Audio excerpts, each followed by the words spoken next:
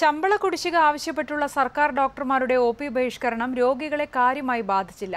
P G വിദ്യാർത്ഥികളും resident ഡോക്ടർമാരും O പിയിൽ ഡ്യൂട്ടിക്കെത്തി. കുടിശ്ശിക ഏപ്രിൽ മുതൽ പി എഫിൽ ലയിപ്പിക്കുമെന്ന് അറിയിച്ചിട്ടും സമരം തുടരുന്നത് അനാവശ്യമാണ് എന്നാണ് സർക്കാർ നിലപാട്. സൂചനാ സമരത്തിന്റെ ഭാഗമായി മൂന്ന് മണിക്കൂർ പണിമുടക്ക് ഒ പി ബഹിഷ്കരിച്ചു. മുൻകൂട്ടി നിശ്ചയിച്ചിരുന്ന ശസ്ത്രക്രിയകളും റദ്ദാക്കിയിരുന്നു. ചികിത്സ മറ്റു കാര്യങ്ങളൊന്നും മുടങ്ങിയില്ല. ബാക്കിയെല്ലാം ചെയ്യാനുള്ളതെല്ലാം അവർ ചെയ്തു തന്നു. സമരം അനാവശ്യമെന്ന നിലപാടിലാണ് സർക്കാർ. ഡോക്ടർമാരുടെ ആവശ്യം പരിഗണിച്ച ധനമന്ത്രി കുടിശ്ശിക പി എഫിൽ ലയിപ്പിക്കുമെന്നും മറ്റാവശ്യങ്ങൾ തുടർ ചർച്ചയിലൂടെ പരിഹരിക്കുമെന്നും ഉറപ്പു നൽകിയെന്ന് ആരോഗ്യമന്ത്രിയുടെ ഓഫീസ് അറിയിച്ചു.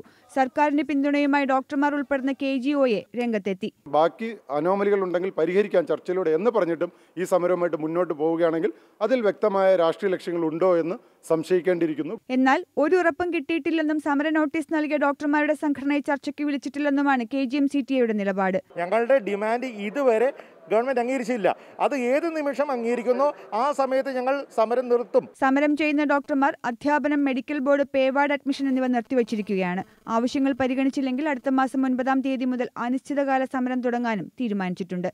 ഏഷ്യാനെറ്റ് ന്യൂസ് തിരുവനന്തപുരം.